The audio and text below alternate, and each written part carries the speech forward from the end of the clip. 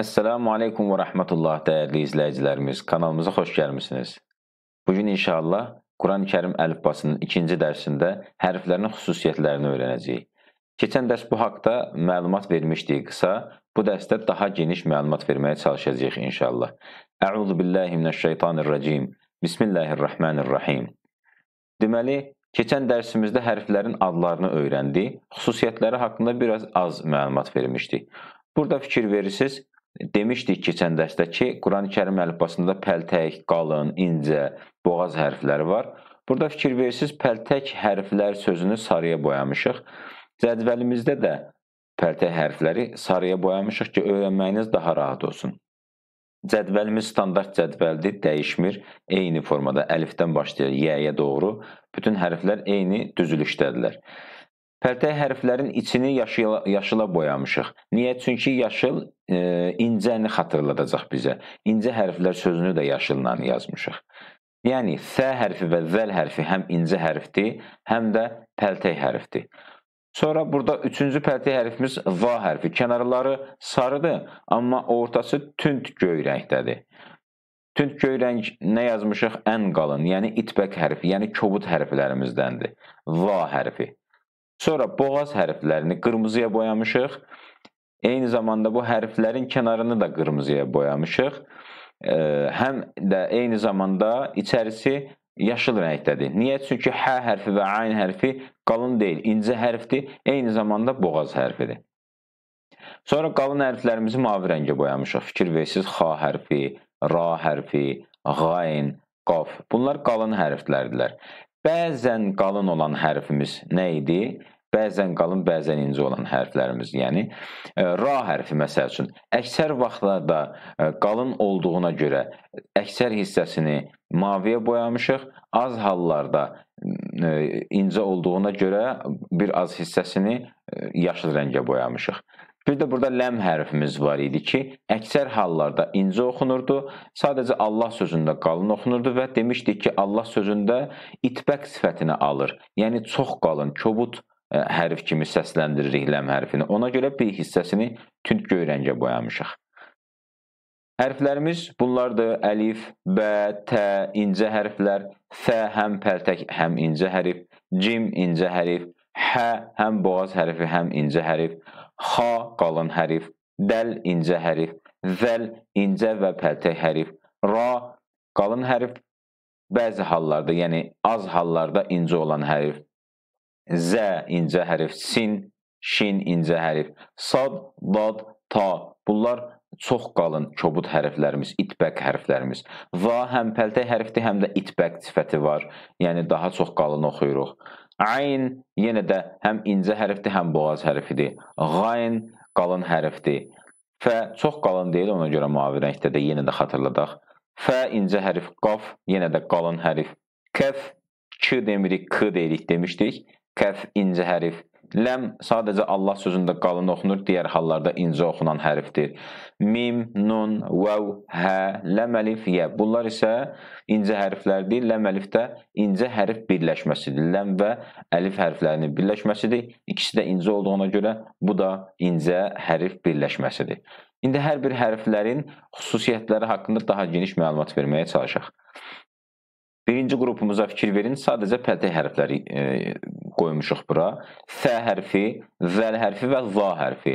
Za çox qalındır, kobud hərfdir, itbəq hərfdir. Zəl və sə hərfləri isə incə hərflərdir.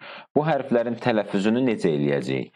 Pəltək hərflərimizdə demişdik ki, dilimizi üst dişə toxunduraraq çıxardırıq. Yəni bu formada fə, tə, Çox sıxmayın. Çox sıxsanız hərfin xüsusiyyəti itmiş olur orada.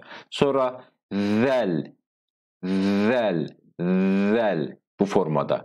Sonra itbəq olan hərfimizdə isə za, va.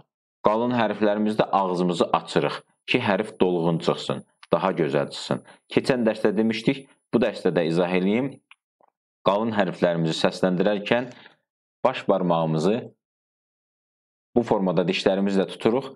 Ağzımız nə qədər, çənəmiz nə qədər aralanırsa, o məsafədə saxlamalıyıq ki, e, ra hərfi, va hərfi və digər bütün qalın hərflər daha gözəl səslənsin, daha düzgün səslənsin.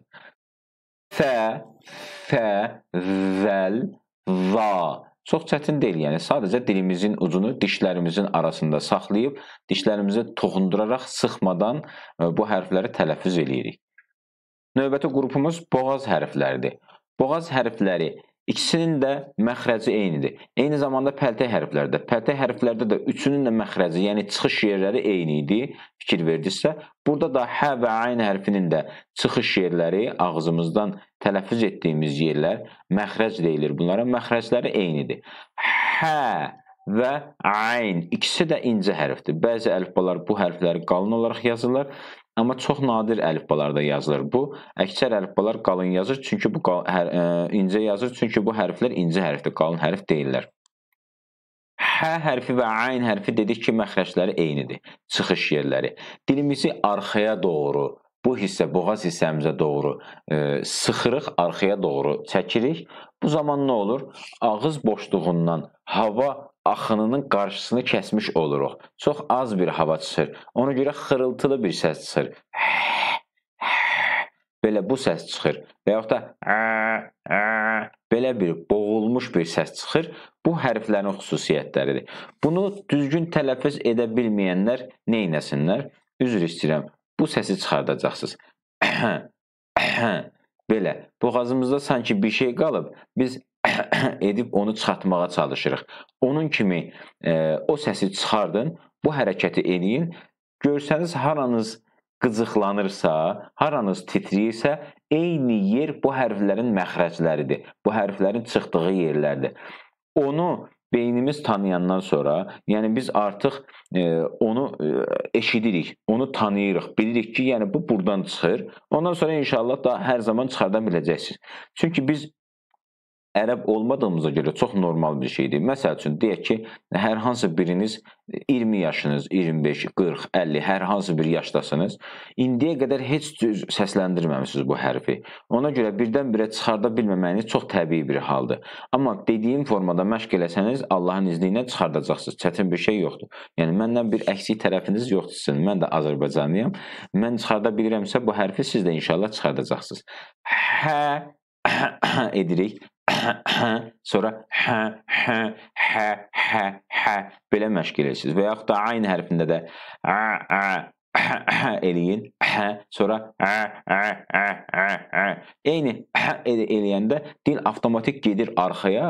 Orada olan qıcıqlanmağa meydan meyl ə, qıcıqlanmağa səbəb olan və yaxud da boğazımızda nəsə qalıbsa, onu oradan dartıb çıxardır. Bu hərəkəti eləyəndə də biz o tam o ayn və hə hərfinin məxrəcini aparmış oluruq dilimizi. Onu etdikcə siz diqqətiniz dilinizdə və boğazınızda olsun ki, dilim hara dəyir, dilimin arxası, kökü hara dəyir. O hissəni diqqətlə e, onu hiss etsəniz, siz o hərfi inşallah çıxardacaqsınız. Hə və ayn, ayn hərfi. Hə və ayn, hə, ayn, hə, ayn. Belə. Bu formada tələffüz edirsiniz. Hə boğazdan çıxır, hənin boğaz hissəsidir. Ayn də e, boğazdan çıxır, əlifin boğazdan çıxan formasıdır. Növbəti hərflərimiz bəzən qalın, bəzən incə oxunan hərflərdir. Ra hərfi çox vaxt qalın, az vaxtlarda, az hallarda incə oxunur. Ləm hərfi isə həmişə incə oxunur, sadəcə Allah sözündə qalın oxunur və itbəq sifətini alır Allah sözündə daha qalın, kobud formada səsləndiririk. Allahu deyirik. Allahu və ra, ra deyirik. Ra qalın oxunur. Məsəl üçün ru, ru qalın oxunur. i ilə səsləndirəndə ri demirik. Ri, ri, ri daha incə deyirik. Ri, ri. Ona görə bəzən incə oxunur deyilir. Ra və ləm hərfləri. Bəzən qalın, bəzən incə oxunan hərflər. Tələffüzlərində çətinlik yoxdur deyə ona görə də bunların üstlərində çox dayanmırıq. Keçdik növbəti hərflərimiz qalın hərflər. Sadə qalın hərflərimiz xa hərfi, qayn hərfi və qaf hərfi. Xa bizim Azərbaycan dilində səsləndirdiyimiz normal x hərfidir. Sadəcə qalın oxuyacağıq, yəni a ilə səsləndirəcəyik. Xa, xa ağzımızı açırıq, çənəmizi açırıq, xa səsləndiririk. Qayn hərfi aynlə eyni formadadır, amma ə, e, üstündə bir nöqtəsi var. Ayn kimi boğazdan oxumuruq. Normal elə ğı hərfini necə səsləndiririksə özümüz o formada da səsləndiririk. Ğa, qayn, qayn, qayn bu formada səsləndiririk. Gəldik üçüncü hərfimiz qaf. Qaf hərfi qalın hərfdir, amma keçən dərsdə də demişdik, Azərbaycan dilindəki q kimi səsləndirmirik. Azərbaycan dilində q səsləndirəndə fikir verin. Q, q, əq, əq, əq. Dil tam damağın ortasına dəyir. Quran-Kərim əlifbasındakı q-nı səsləndirəndə isə dilimizi damağın arxasına vururuq. Q, q. Keçən dərsdə demişdik, Quba-Qusar bölgəsində yaşayan soydaşlarımızın tələffüz etdikləri q kimi səsləndirəcəyik. Q, q, q belə. Əq, iq, uq, qa, qa, qa, qaf, qaf belə səsləndiririk. Qaf, yəni qaf, qaf deyil, qaf. Biraz arxadan. Yəni boğazımıza doğru, xirtdəyimizə doğru aparırıq dilimizi. Bu zaman çıxacaq o rahat inşallah. Xa, qayn, qaf. Xa, qayn, qaf belə. Növbəti hərflərimiz ən qalın hərflərimiz, itbəq hərflərimiz. Bunların tələffüzlərində daha kobud səsləndiririk hərfləri, dilimiz aşağıya doğru yatır. Sad, vad, ta, va. Sad, vad, ta, va. Bunların içərisində va hərfi pəltəkdir. Va, va. Bayaq pəltək hərflərlə birlikdə izah eləmişdik. Digərlərini sadə formada səsləndirəcəyik. Vad hərfində biraz daha geniş məlumat verməyə çalışacağıq. Demişdik ki, qalın hərflərimizdə e, ağzımız daha çox açılır və yəni bu formada açacağıq. Niyə? Çünki biz ağzımızı açarkən orada hava boşluğu meydana gəlir. O boşluqda biz e, hərfi daha canlı səsləndiririk. Hətta misal da vermişdik. Məscidlərin fikir vermisiniz, məscidlərin üst hissəsi, qübbə hissəsi günbəz də deyilir, yumru olur. Onu niyə yumru eləyirlər? Çünki içəridə e, namaz qılarkən insanlar o səsi, qabaqda namaz qıldıranın səsini daha gözəl eşitsinlər, daha rahat eşitsinlər. Bunun üçün olur. Allah Teala da insanların hər birinin ağzının içərisində o formada qübbə meydana gətiribdi, qübbə yaradıbdı. Bizim damağımız fikir versiniz bu formadadır, dümdüz deyil. Belə bu formadadır. Niyə? Çünki orada hava daha gözəl yığılır və daha səs daha gözəl çıxır. Və biz dilimizi aşağıya doğru eləyəndə orada biraz daha gözəl çıxır, daha dolğun çıxır hərflərimiz.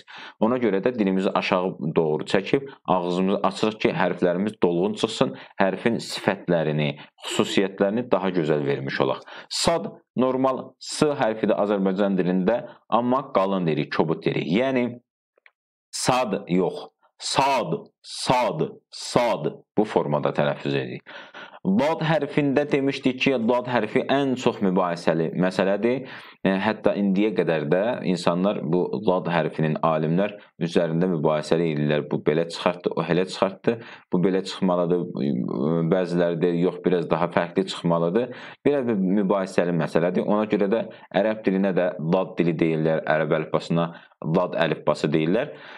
Hərfin tərifində heç bir problem yoxdur. Hərfin tərifinin e, haqqında hamı eyni fikirdədir, hamı eyni qərardadır. Çünki e, əlifbamızın mənbəyində, yəni əlifbamızın e, götürdüyümüz qaynaq əsərlərimizdə, mənbələrdə bu hərfin xüsusiyyəti bir formada yazılıbdır.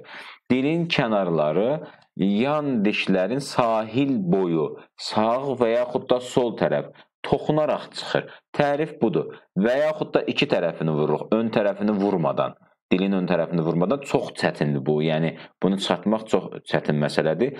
Ən rahatı e, sağ tərəfdir. Amma kiməsə sol tərəf rahatdırsa, sol tərəfdə də çıxarda bilər. Necə səsləndiririk? Mən üzr istəyirəm. Bunu göstərməliyəm ki, siz daha aydın ə, e, bu hərfin tələffüzünü biləsiniz. Baxın, Dişin içəridəki damağa birləşən hissəsi ki var, iç hissəsi. Köpək dişlərimiz, azı dişlərimiz olan hissə və yaxud da bu tərəf. Fərq etməz. Hansı tərəfsə rahatdırsa, o tərəfə toxunduruq. Dilin ucunu deyil, dilin yanını toxundurursunuz.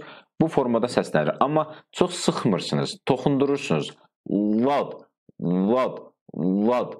Bəzən sürətli Quran-ı Kərim oxuyuşlarınızda e, bunu bir d kimi eşitmiş ola bilərsiniz. O hərfi ora vurmaq lazımdır, amma önə vurmaq olmaz. D Azərbaycan dilində d deyəndə biz dilimizi e, ön tərəfə vururuq. Yəni dəl hərfinin tələffüzü kimi vururuq. Bu d deyil, yəni. Bu zaman məna da dəyişir. Məsəl üçün Fatihə surəsindəki Sıratallezine en'amte aleyhim gayril məğdubi aleyhim vələddallin d kimi eşidirsiniz. Çünki kənarda biraz sürətli vuranda o hərfin məxrəci e, məxrəcindən biraz oynayır. Ona görə də çox ümumiyyətcə sürətli də oxumaq uyğun deyil hərflərin tələffüzü üçün. Hərflərin düzgün e, məxrəcindən çıxartmaq üçün daha rahat, daha aram-aram oxumaq lazımdır. Vad, vad, vad Dediyim kimi mənə sağ tərəf rahatdır deyə sağla oxuyuram. Sizə sol rahatdırsa sol tərəfdə də oxuya bilərsiniz. Vad, əl, əl, əl, il, il hərflərin məxrəclərini tam düzgün bilmək üçün bu formada tələffüz etmək lazımdır ki, başına bir ə artırırsınız, sonra o hərfin üstə üzərində dayanırsınız. Əl, əl onda daha aydın e, bilinir o hərfin məxrəci. Əl bu formada. Vad, vad vad bu formada tələffüz edirsiniz. Növbəti hərfimiz ta hərfi. Ta, ta hərfi də t ilə yazılır. Ta kimi oxunur, amma biz ta, ta demirik. Ta, ta, çox qalın kobud deyirik, ağzımızı çox açırıq və dilimizi damağımıza sıxıb ani buraxırıq. Normal t kimi yumşaq deyil bu. Qalın olduğuna görə biraz d-ya meyllənir. Ona görə bəzi Quran-ı Kərim öyrədən müəllimlər da deyə öyrədirlər bunu. Əuzu billahi mineşşeytanirracim deyirlər. O uyğun deyil. T demək daha yaxşıdır, düzgündür. Çünki hərfin adı T-dir, yəni. Şeytanir, tanir. Sadəcə T-da d-lıq hiss edilməlidir. D-da t-lıq yox. Biraz kobud olduğuna görə biraz d-ya yaxınlaşır. D kimi e, eşidilə bilər, amma daha çox t kimi e, eşitmək lazımdır bunu. Hərfin adı çünki tadır. Ta'nın nöqtəlisi dedik ki, zadır, pəltə hərfdir və eyni zamanda itbək hərfdir. Za, za bu formada səsləndiririk. Sad, vad, ta, za. Sad, vad, ta, za. Sad, vad, ta, za bu formada.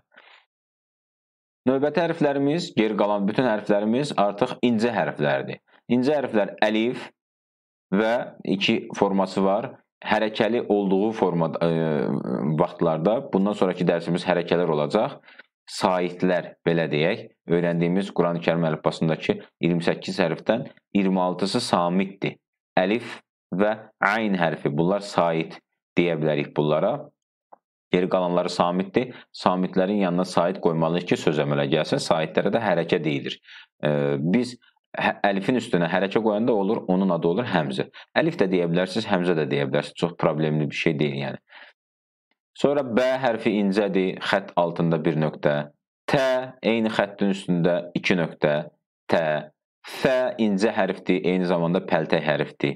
Cim, cimin tələffüzünə də fikir verək. Cim Keçən dərsdə demişdik, bu indi də yenə də izah eləyim. Cim hərfinin tələffüzü də Azərbaycan dilindəki z kimi deyil. Azərbaycan dilindəki g kimi də deyil. İç e, ikisinin ortasında tələffüz edirik. Baxın, bu bizim damağımız, ön dişlərimiz burada. Burada boğazımız yerləşir. Bu da dilimiz.